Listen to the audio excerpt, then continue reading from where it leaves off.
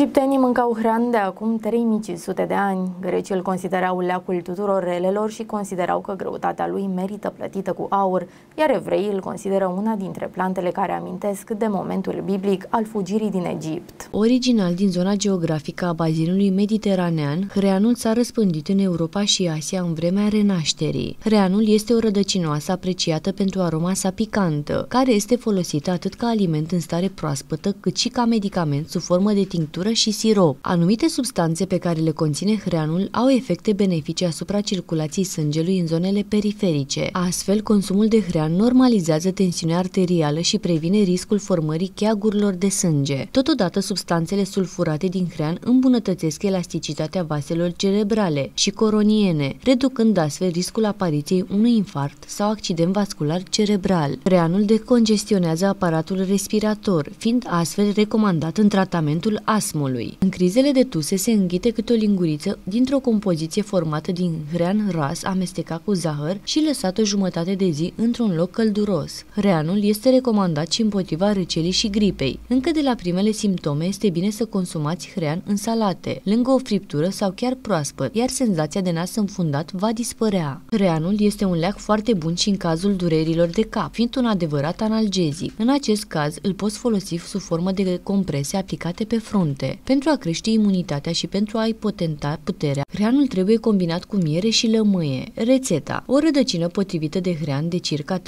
cm, o jumătate de lămâie și 2-3 lingurițe de miere. Mod de preparare. Pală și curăță de coajă hreanul și lămâia. Dă pe răzătoarea mică hreanul, apoi coaja de la jumătate de lămâie. Așează ce ai dat pe răzătoare într-un borcanel, apoi adaugă mierea. Amestecă bine și păstrează la amestecul la frigider. Consumă cât o linguriță dimineața după micul timpul dejun. Folosind regulat acest preparat, vei oferi organismului tot ceea ce are nevoie pentru imunitate și astfel te vei pregăti pentru sezonul rece. Răcelele nu se vor mai lipi de tine. Nu este recomandat persoanelor care au tiroidă hiperactivă, la fel cum toate legumele din familia cruciferelor, trebuie consumate cu multă prudență, mai ales dacă acestea sunt consumate crude și în cantități mari, relatează sursebune.com.